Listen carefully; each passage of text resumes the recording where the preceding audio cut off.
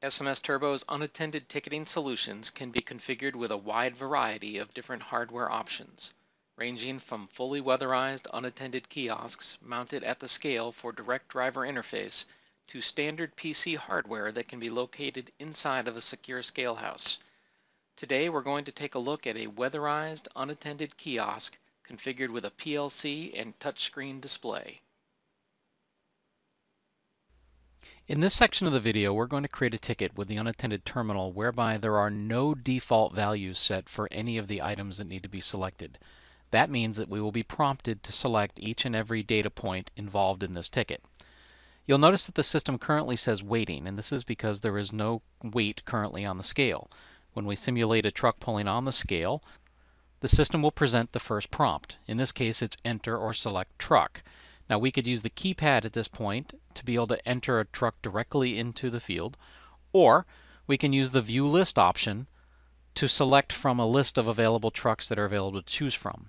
When using the view list, if the entire list doesn't fit on the screen at once, we have the page up and page down buttons so that we can scroll through the available options. We're going to pick truck 200 for this particular ticket. The next prompt is for the customer. Again, we will use the view list, and I'll select Andrew Hall. The next prompt is for the order or job, and again we can use the view list, and I'll pick the Ambrose order. Now it's asking us to select the material that's being ticketed, crushed rock, and lastly it's asking for us to select the location. We'll say that this is going to Amherst. At this point, the system is capturing the tare weight from the scale indicator as well as capturing an image from the cameras attached to the system.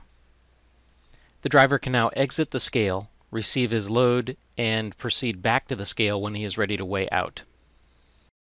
When the truck pulls back up on the scale with the load on the truck, the system will prompt for the truck again. We can use the view list. And now when we select that same truck, the system finalizes the ticket immediately because all of the information has already been entered. The system will then print the ticket for the driver. Driver can take the ticket and proceed on their way.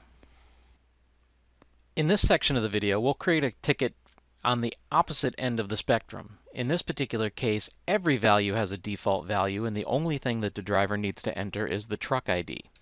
We'll put some weight on the scale, the driver will use the view list to select the truck in question, and the entire ticket is completed. The ticket is printed, and the driver goes on his way. In all likelihood, most customers' unattended ticketing needs fall somewhere between these two extreme examples. In this last example, we will create a ticket where the truck has an associated customer with a default order and location, but the driver needs to select the material that is being picked up. We will use the View List selection to select the truck. The order and location have already been set, but we'll use the View List to select the material that the driver is picking up.